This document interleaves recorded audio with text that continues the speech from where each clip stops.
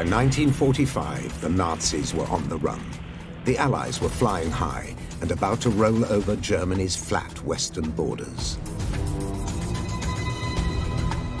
But in the deep southern heartland of Hitler's Reich loomed the threat of the unknown. Fears grew of a last-ditch Nazi fightback in the Alps. In terms of a defense, uh, it was an ideal place to defend yourself. This one this was high mountains, very difficult terrain. How could you wage a war with tanks there? Almost not possible. Very low experience from the Allied side um, to wage a war uh, in this mountain region. A lot of experience from the German side, a lot of elite troops there. They knew there were a lot of SS troops in Austria, so uncertainty. Amid such uncertainty, came evidence of the Western Allies' worst fears. Neutral Switzerland bordered part of the German Alpine region. The American intelligence chief in Bern, Allen Dulles, had a grim report. It suggested that a fanatical elite was massing in the mountains. A hard core led by those with death heads on their caps the merciless SS would spearhead a desperate guerrilla war from an Alpine fortress. It was the very fact that the Bavarian and Austrian mountains seemed to lend themselves so well to guerrilla warfare that this horrible idea, because it represented a nightmare for Allied military strategists, that this horrible idea started to gain currency. The horrible idea was an ultimate nightmare for the advancing Allies. An Alpenfestung, or Alpine fortress, extending into northern Austria. Defended by thousands of troops, steeling themselves for a final do-or-die fight for the fatherland. Their fingers on the triggers of an arsenal of secret weapons hidden in crags and crannies. At this time, in say in January 1945, they didn't know what was going on when they entered Germany, and they were uh, taken by surprise by the Battle of Bulge, was a German counterattack in December 1944, and they didn't expect that. So the question was. Yes, we have won the war. This is clear. But, I mean, are we able to cross the Rhine? Are there some secret weapons still? Is there somehow a secret counterattack prepared? So, so it was all uncertain. Uncertainty and fears of so-called wonder weapons were understandable. The Germans had already developed ballistic missiles and jet planes. And other, more fearsome, more destructive horrors were on Nazi drawing boards. What the Allies decided to do was to be prudent, to assume, given Hitler's nature, given the fanaticism of the SS and the fact the SS probably controlled the German state by then, to prepare for the worst. The Alpine Redoubt was the worst. It was the worst case scenario that anyone could imagine, and they felt they had to prepare for it. Some tunnels and bunkers had already been excavated in existing salt mines. Even today, the crumbling remains of the would-be Alpine fortress are well hidden. One tunnel complex near the Austrian city of Salzburg was to be the command center of the Nazi Alpine fortress. Such tunnels were also used to build planes and rockets, as Allied bombing reduced conventional German factories to rubble.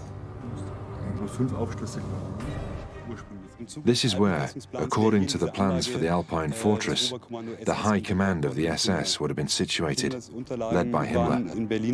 Himmler's documents in Berlin were already packaged and addressed. The complex extends over 6,000 square meters, and the plan was for 22,000 square meters.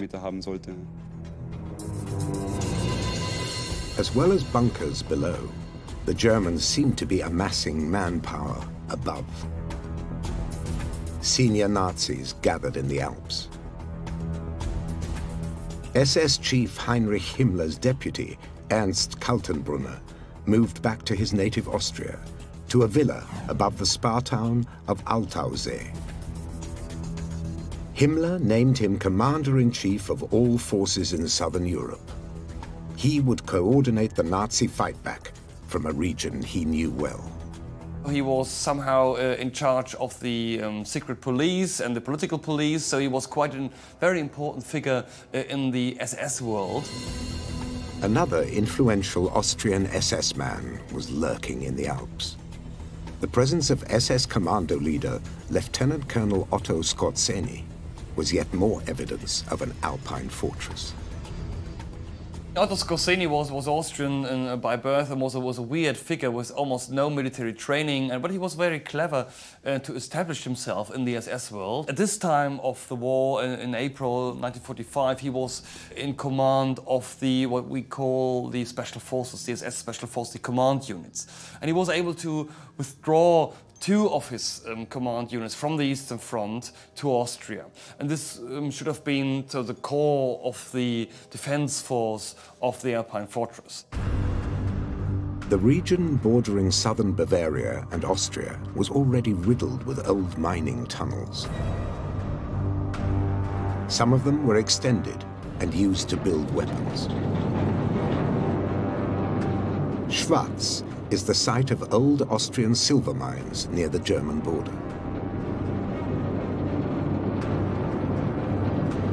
One shaft runs deep into the mountain and a haunting Nazi ruin.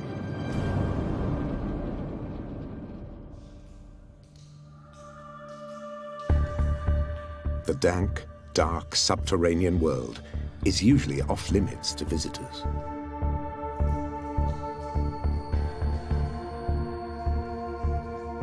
Two kilometers inside the mountain, a broken steel and concrete shell of an underground aircraft factory is slowly rotting away. Bits of rusting metal lie scattered across the stony floors. The corroded remains of aircraft parts, abandoned before workers had the chance to put them together.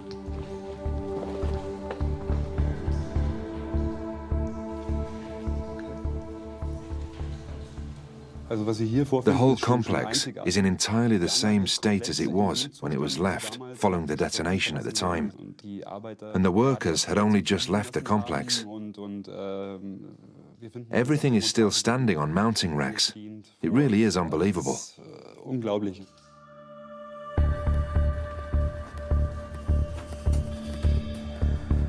Deep underground, far from the threat of Allied aerial bombing the old mining tunnels were ideal places to build weapons. Including a new generation of planes die-hard Nazis hoped would repel the Allies rampaging into the Reich.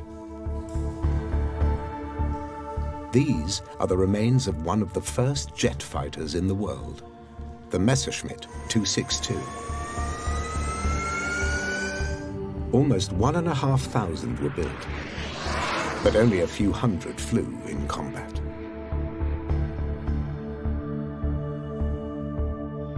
The Germans had also developed a jet-powered bomber. Hermann Goering, the head of the Luftwaffe, had uh, dictated a, a, requirement to the aircraft industry that he wanted this thousand kilometer aircraft, thousand kilometer range that could fly at a thousand kilometers an hour and carry a thousand kilograms of bombs. And at the time, it was a huge, a very, very uh, challenging requirement for any, any manufacturer to meet. German engineers overcame another great challenge and had developed the world's first long-range ballistic missile, the V-2. SS Chief Heinrich Himmler was one of many top Nazis who had visited the V2 testing facility at Peenemünde. More than a thousand V2s were fired at Britain. They were the pinnacle of rocket technology at the time, flying some 80 kilometers above the Earth. V2s sparked fear and devastation. They are estimated to have killed almost 3,000 people. Launched from mobile ramps, V-2s were another potential threat from an Alpine fortress.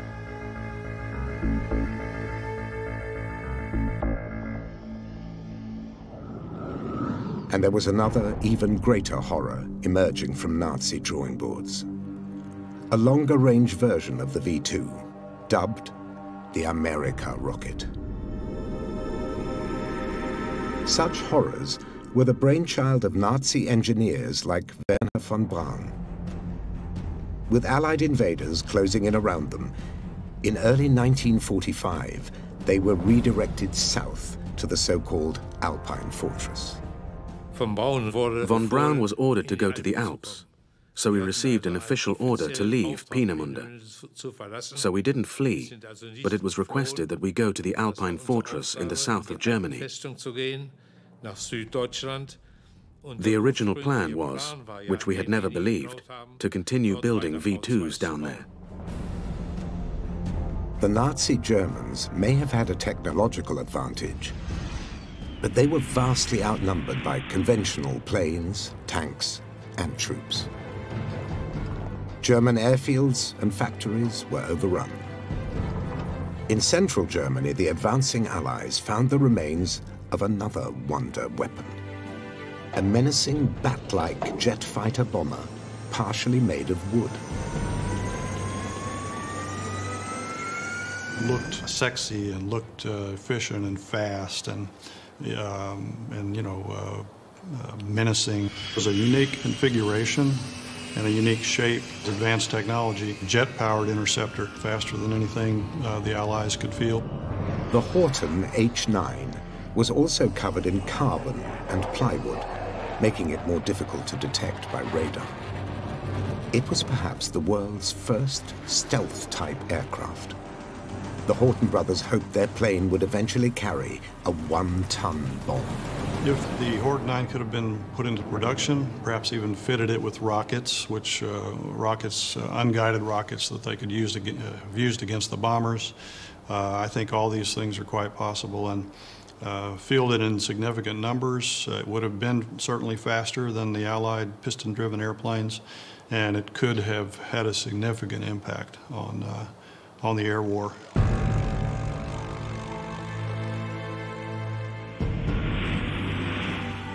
Conventional planes were still winning the war for the Allies, but the possibility of a German counterstrike from the Alps forced a change in tactics.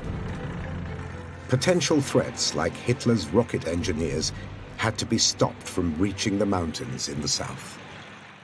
General Eisenhower, because of his fear of um, a final Nazi campaign in the mountains of southern Bavaria and Austria, decides to cut Germany in half to prevent troops, Wehrmacht and SS troops from the northern part of Germany to go south to Bavaria and Austria. Eisenhower changed the direction of his main thrust and directed a spearhead south towards the Alps. He doesn't want to see them filling the mountains with material, ammunition, more troops. So Allied strategy is directly affected. How long would it take to defeat 300,000 Nazis armed to the teeth in the mountains? No one knew. The rocket engineers from the Baltic coast evaded the Allied advance and made it to the Alps. They were a vital asset to be protected in the barracks of the Gebirgsjäger, or mountain troops.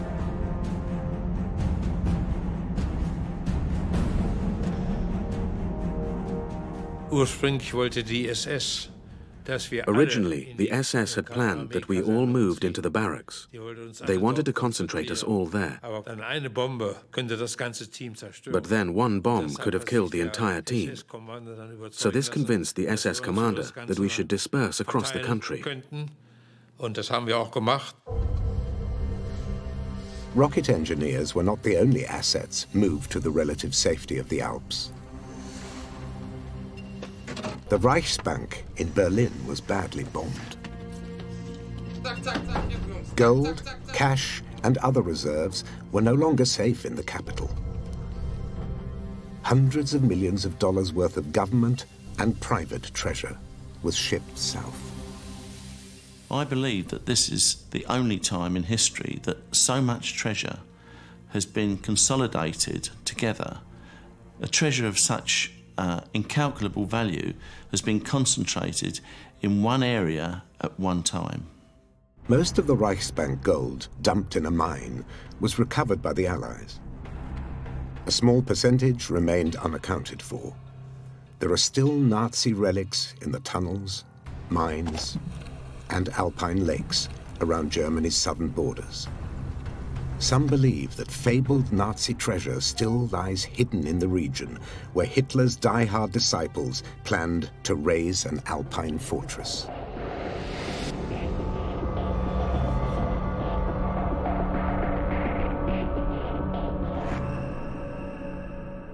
Some tantalizing tales of Nazi treasure are based on supposed eyewitness accounts in the last days of the war.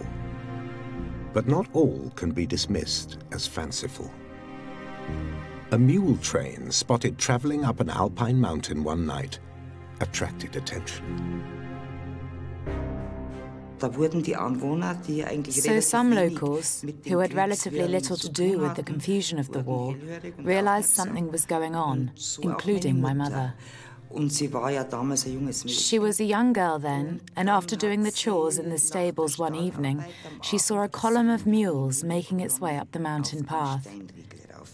One special thing she always mentioned was that there was a white mule among them. Eva Sturm's mother saw what was supposed to be a secret transport of hundreds of gold bars worth millions of dollars. It didn't stay a secret for long. This gold was also eventually recovered by American troops after rumors spread about the mysterious mule train in the night.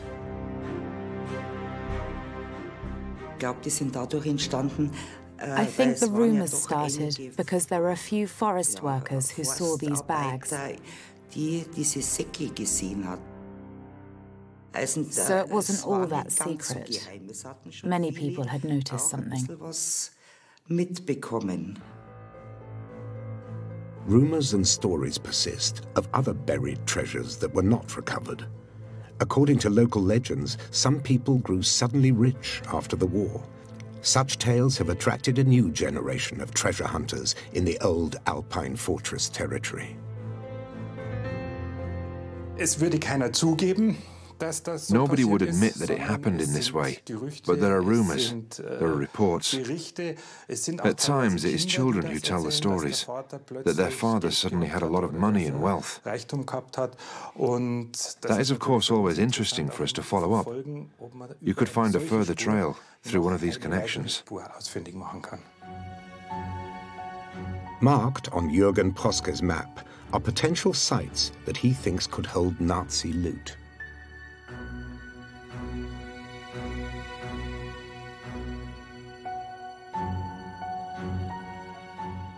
Armed with local knowledge and a metal detector, he scours the hills near Garmisch-Partenkirchen in the far south of Germany.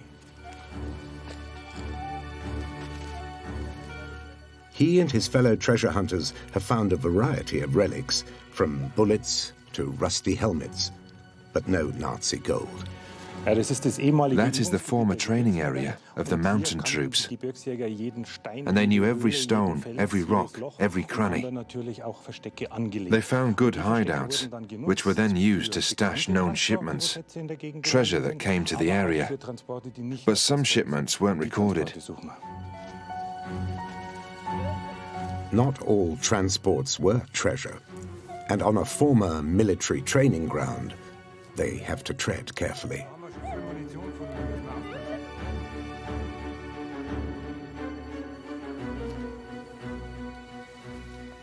Oh, yeah.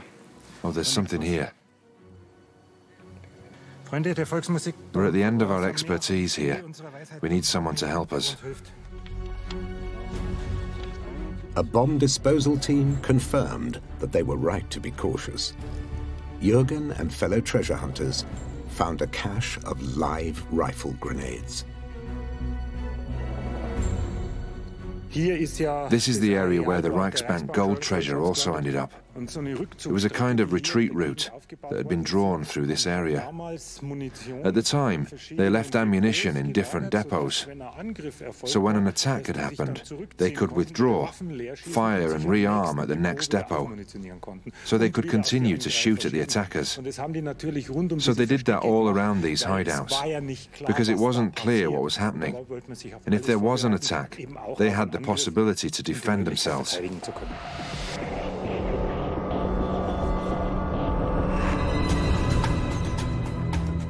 The Nazi gold trail extends further east to the picture postcard lakes and mountains of the Salzkammergut near Salzburg in Austria. This was also to be part of the Alpenfestung. It's another place where stories of hidden treasure proliferate. There were also treasure caches which came from the SS and, um, and the Foreign Office um, everybody had evacuated their individual uh, treasures, as you might say, uh, down to this area. As well as gold, priceless artworks taken from private collectors, churches, and museums were sent south. Hitler had intended to display art acquired by his agents in a special museum in his Austrian birth town of Linz. But as defeat loomed, the treasures were sent to salt mines for safekeeping. But not all treasures required the protective, rarefied atmosphere of a mine. The stunning lakes that are part of a UNESCO World Heritage Site have an added allure. As fabled dumping grounds for Nazi gold. The Salzkammergut has been dubbed the Devil's Dustbin. Nazi relics have been recovered from the Grand Lakes. Like this sign that proclaims Nazis enjoy visiting here. It probably adorned one of the many local inns until such advertising suddenly became unfashionable in 1945. One of the many alluring stories surrounds the deep, remote lake Toplitzsee. A local farmer is said to have been summoned in the dead of night to help SS men dump truckloads of heavy boxes into the lake, packed with gold and secret Nazi files. Such alleged eyewitness accounts sparked a kind of gold rush. Divers dreamt of scooping up a fortune. But alpine lakes are dangerous. At least two divers have drowned in the Toplitzsee, its dark waters full of snags and hidden obstacles. But in 1987, it seemed that the deadly risks were worth it. A breathtaking treasure was apparently recovered from the treacherous mud by a local dive expert, Gerhard Zauner. We dumped it in the Toplitzsee and then recovered it and had it confiscated. Three days later, they realized it wasn't gold. It was a glittering example of Gerhard Zauner's mischievous sense of humor. The gold ingots were bars of bronze, but his hoax proved to be a 24-carat sensation. We were given it back, but there was a massive media reaction. Gold found in the Toplitzsee.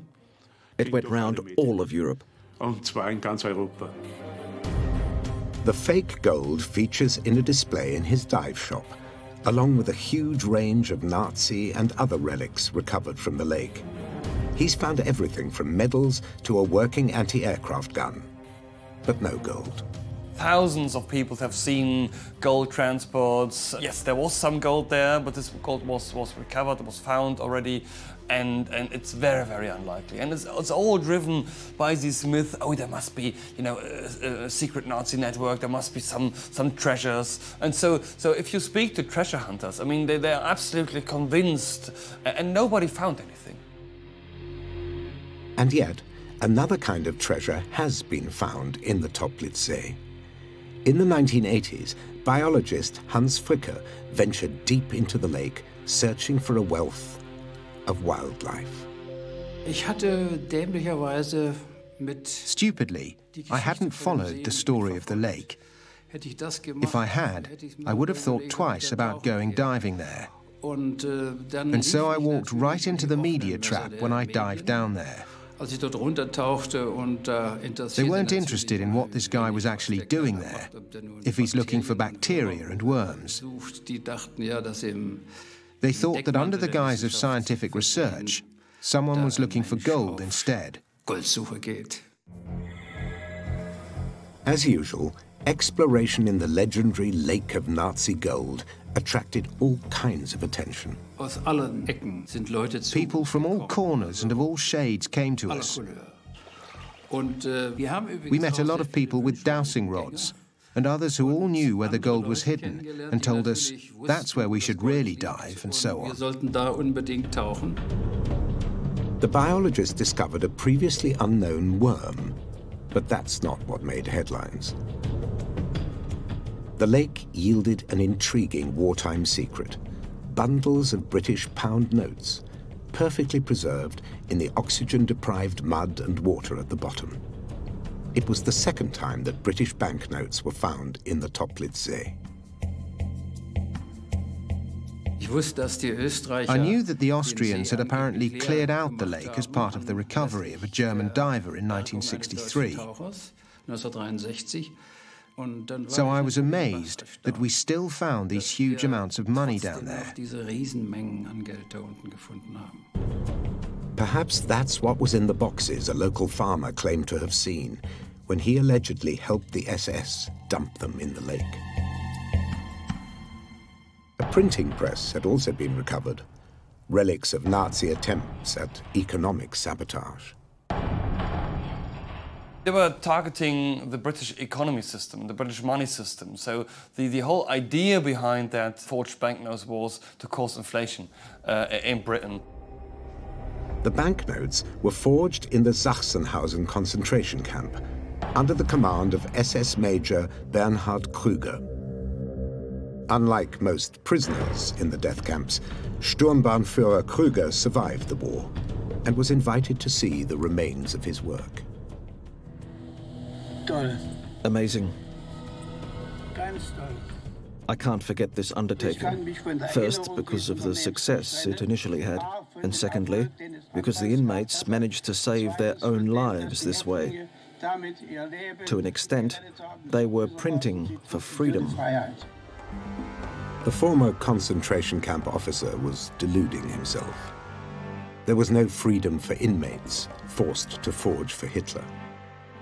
Behind the myth of Nazi treasure and the Alpine fortress lie real war crimes. As well as counterfeit currency, Nazi victims were also forced into working on underground missile factories. Nordhausen, or Dora Mittelbau, was one of them. It wasn't in the Bavarian Alps, but in the central German Harz Mountains. When American forces liberated the camp, only a few victims remained. The rocket engineers they were enslaved to serve had fled south to the so-called Alpine Fortress.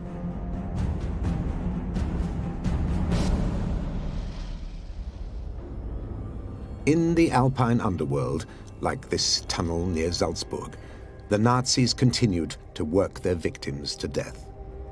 A memorial stone and graffiti, testament to the horrors that were once inflicted in the tunnels, usually locked up and largely forgotten.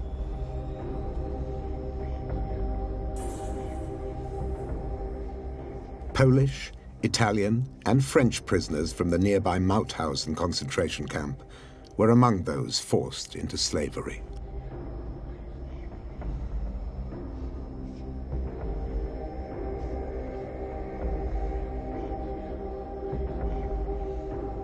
Few survived, and fewer still lived to bear witness to the human cost of the Nazi Alpine Fortress fantasy.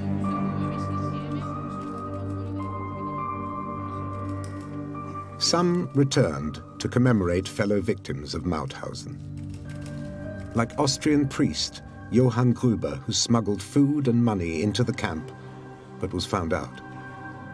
And French priest Père Jacques, who was sent to the camps for trying to save Jewish boys from the Holocaust. Both were unable to save themselves, but fellow prisoner Jean Monin managed to hold on to life. J'étais dans un, dans un, dans un I was already in the barracks for the dying. I thought it was all over for me. But friends took me into the central camp and hid me there for 14 days. Then we were liberated. I weighed 38 kilos then.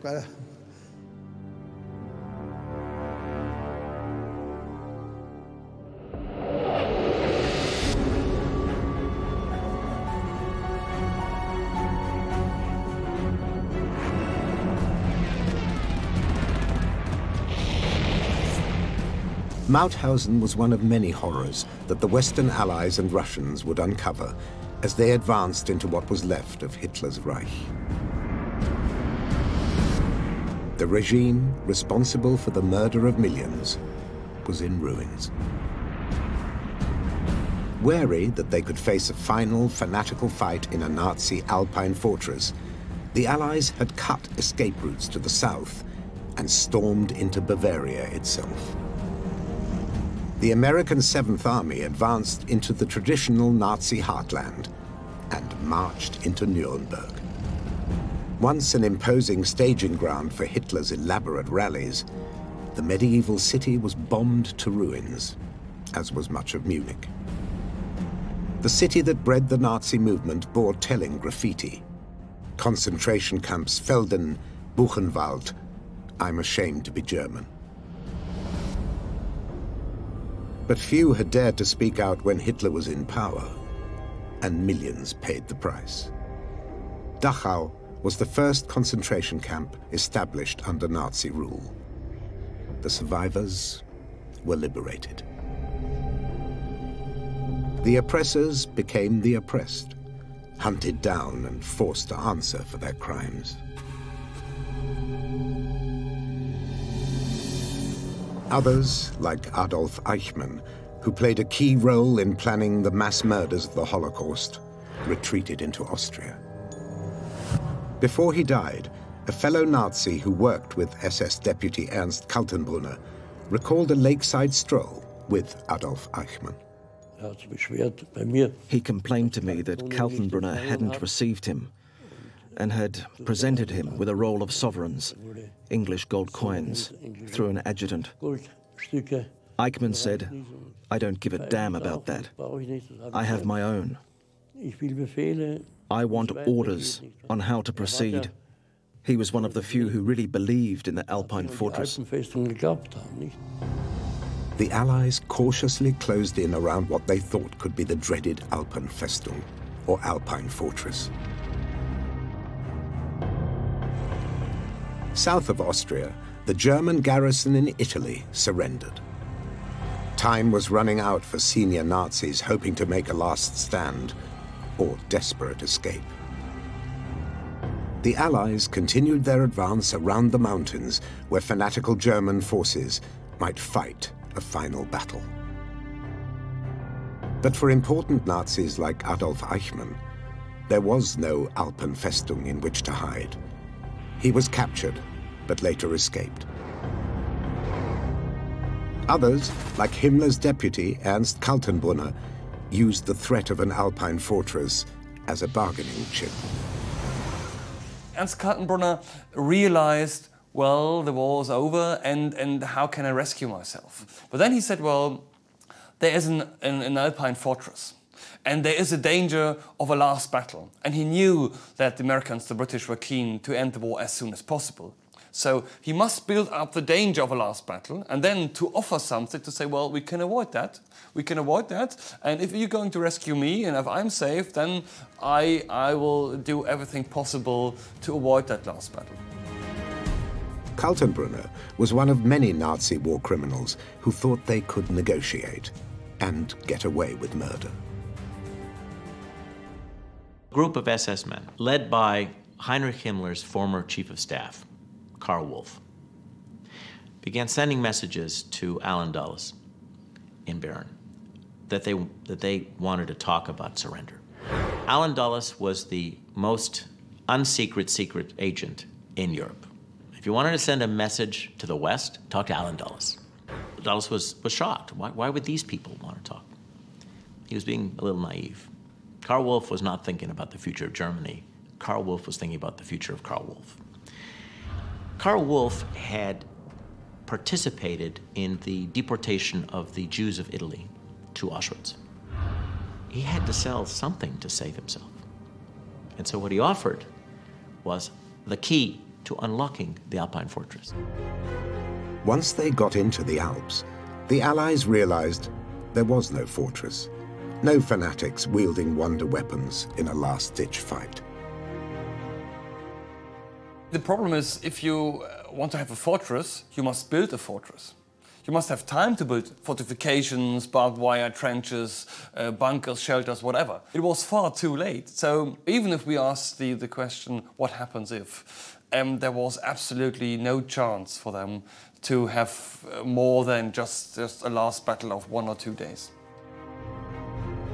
For some senior Nazis, the Alpine fortress was a ruse that bought them time to escape justice. A group of SS men who should have gotten to know the hangman uh, retired and lived out their days. That was the basic effect of, of the negotiation. These SS men who offered something they couldn't give managed to uh, escape justice. Other prominent Germans were also keen to talk to the Western Allies. Rocket engineers like Wernher von Braun developed the V-2 missiles that killed many thousands of innocent civilians. Yet they were given new lives in the United States to continue their work. I don't think it was a big problem for him. It certainly wasn't a big problem for me. I could see the advantages that we could continue working on rockets here under relatively good conditions, while there was pretty much nothing happening in Germany for many years.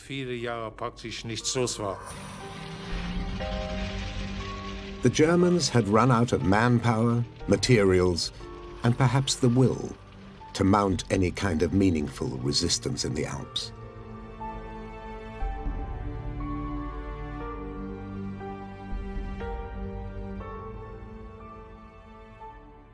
Wehrmacht and the Waffen-SS was beaten by April 1945. There was almost nothing left.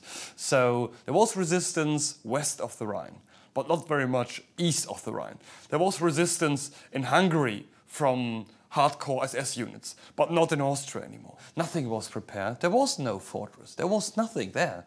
It was just a peaceful lakes, peaceful alpine region. Um, there was a spring, nice weather. In the calm that followed the spectacular fall of Hitler's Reich, lesser-known Nazis like Adolf Eichmann slipped away.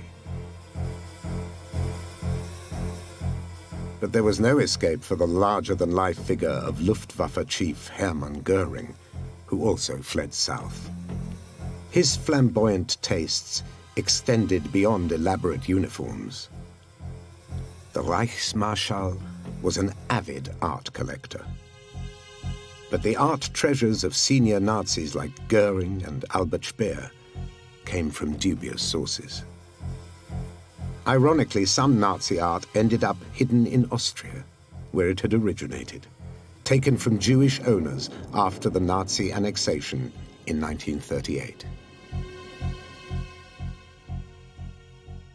They set up an organized system of expropriation called Aryanization, by which they registered the property, uh, the assets of Jews in Austria and then systematically stripped them of their wealth. Now, the art collections were part of that asset stripping process, and German art dealers moved in and removed systematically, uh, metaphorically speaking, at gunpoint, the art collections of Jewish art dealers and, and art collectors. Thousands of artworks destined for Hitler's Führermuseum, were recovered from an Austrian salt mine. Himmler's deputy, Ernst Kaltenbrunner, was also extracted from his Alpine hideout. He was tried for war crimes and hanged in October 1946. According to some accounts, a large quantity of gold was found hidden in his Alpine villa. SS commando leader Otto Skorzeny was also captured. He's also said to have had a hoard of Nazi gold.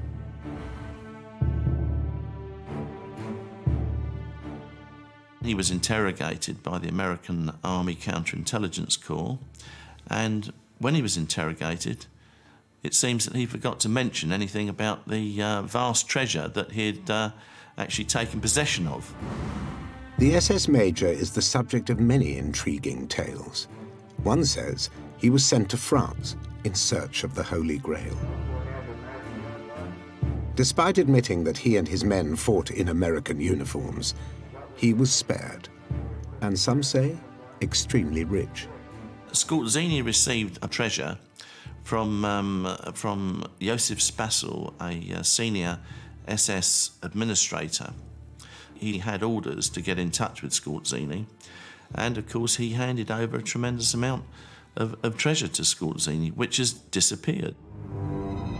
It's yet another alluring story of hidden Nazi loot that inspires treasure hunters to this day. Skorzeny and his troops were once camped near the Austrian lake of Oedensee. Evidence of their presence was found in the mud. I marked all the underground springs here for the hydrographic office. This lake is like a gigantic bog, and during this work, I found a ring. The SS Ring of Honor seemed to have been flung into the lake as the Allies approached. Perhaps it wasn't the only thing dropped into the Oedensee. Another tale has emerged of mysterious goods dumped into the water. There was a forester who told us there was an alpine hut here, and a high ranking SS officer had come to get the key. And then they went down and took stuff out of the hut to the middle of the lake. And then they dumped it there. Now, we didn't find anything because there is so much mud there. It's really difficult to find anything. The Oedensee is relatively flat, carpeted in a thick layer of mud that would swallow a heavy object, like a box full of gold. It's also a nature reserve, and diving is usually strictly verboten. Tentative permission was given for a search of the lake from a boat loaded with state-of-the-art radar scanning equipment. And a GPS locator which would record the precise position of any object detected in the mud.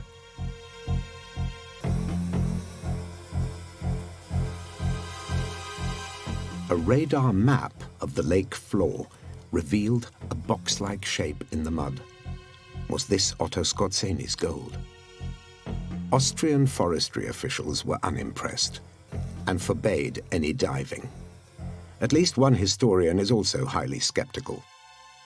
This is all a myth and, and it's all driven by this perception of, of, of Indiana Jones. This is a good story for, for a Hollywood film, definitely, but has nothing at all to do um, with history. We know that, that they sometimes try to hide the gold, but this was recovered quite quickly.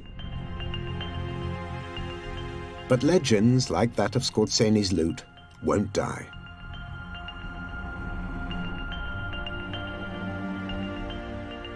If a fortune in Nazi gold was dumped in the lake, perhaps it's already been recovered and spent.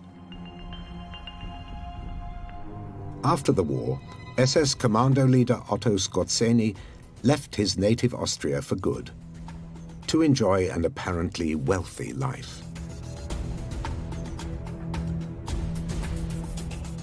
Skorzeny was put into a prisoner of war camp. He was there for approximately three years, I believe, two or three years. And um, ultimately, uh, he just walked out of the prisoner of war camp and disappeared until he resurfaced in Spain in 1950, uh, at which point he seemed to be much richer than he had uh, been previously. Otto Skorzeny was interviewed at his holiday home in Mallorca in 1973. Ruled by the fascist dictator Franco, Spain was a safe haven for unrepentant Nazis.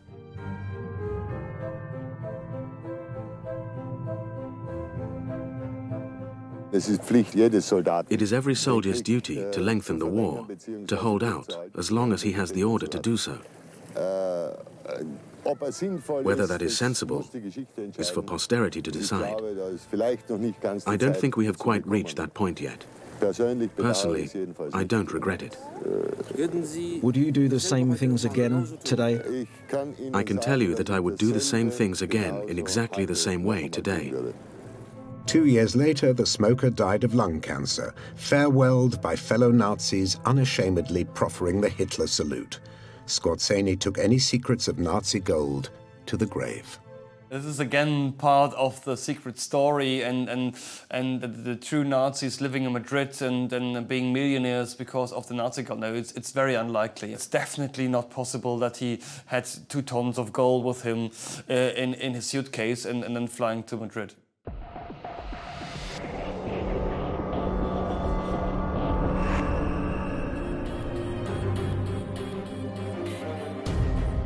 Back around the German alpine town of Garmisch, the hunt for fabled Nazi gold goes on.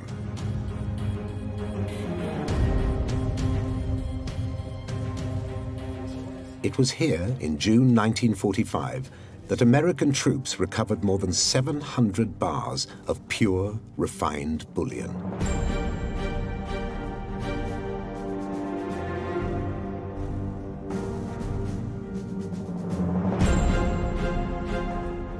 The hoard was worth hundreds of millions of dollars.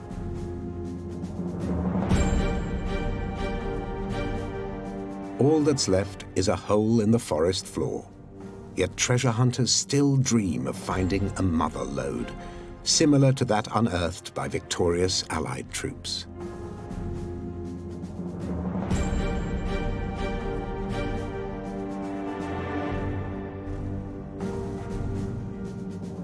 The riches that were recovered were transferred to a special Allied commission. A lot of the treasure was found in, in the 1940s, but an awful lot of treasure just disappeared.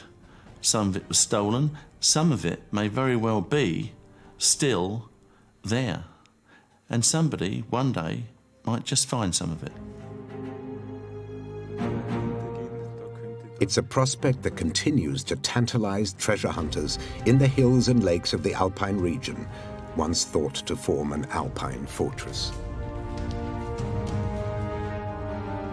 But the Alpenfestung was a myth. There was no fortress, and no heroic last stand in the mountains of Germany and Austria. Like the Alpine fortress, the legends of Nazi gold also seem to be no more than a myth. Yet the scouring of crags and crannies goes on. German and Austrian lakes have produced a variety of Nazi relics. Tons of wartime detritus have been recovered from the deep waters of the Toplitzsee, bombs, mines, and rockets, but no boxes of gold. You don't put a gold treasure into a deep lake because it's just impossible to recover that thing. So it's very unlikely, very, very unlikely that in some deep Austrian lakes they're still waiting something for us.